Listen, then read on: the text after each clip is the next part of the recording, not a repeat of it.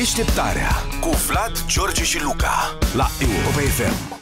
În orășelul japonez Noto, situat în prefectura Ishikawa, edilii au plătit 25 de milioane de ieni, adică aproximativ 200 de mii de euro, pe un calamar roz de plastic lung de 13 metri. O statuie tip calamar de plastic. roz.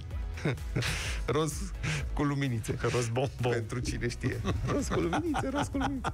Da. Statuia cu calamarul zburător, care acum nu zboară, o zi zboară, o zi nu zboară, azi nu zboară, este pus pe chei, face parte dintr-un plan de relansare turistică pentru a ajuta economia locală. Creatura roz cu alb are tentacule respirate și o deschidere sub gură, unde oamenii se pot poza. Deci dacă ajungi în orășelul Noto din prefectura Ishikawa, poți să-ți uh, faci o poză în gura la calamar. Da. Eu Tare. la calamar, cum ar veni. Au primit, deci s-au primit acolo subvenții de 800 de milioane de yen de la guvern ca să se depășească perioada dificilă și autoritățile locale au decis ce să facă cu bănuții. Să ajute oamenii sau să cumpere calamarul. Și au zis, hai la calamar, tata. Poate n-au prea avut cazuri. Acum, mie mi se pare foarte interesant și lucrul ăsta mi l-am notat undeva, că în Noto calamarul este o delicatesă tradițională. Deci este ca în vurvurul, dar pe japonez. Da, mă, adică- e ceva tradițional acolo. Da. Trebuie să ajungem aici. Să La vedem. calamarul de noto, da. Da, ne face și poză dacă e, dar pe mine mă interesează mai degrabă să gust.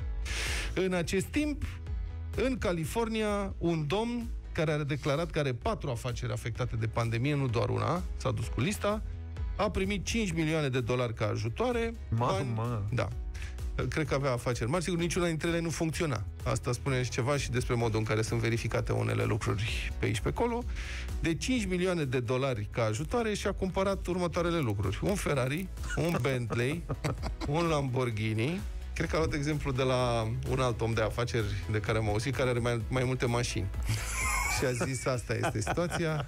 Un Ferrari, un Bentley, un Lamborghini, mai multe vacanțe exotice și cheltuieli personale deosebite, fiecare luptă cu boala cum poate, în mod evident. Deșteptarea cu Vlad, George și Luca la Europa FM.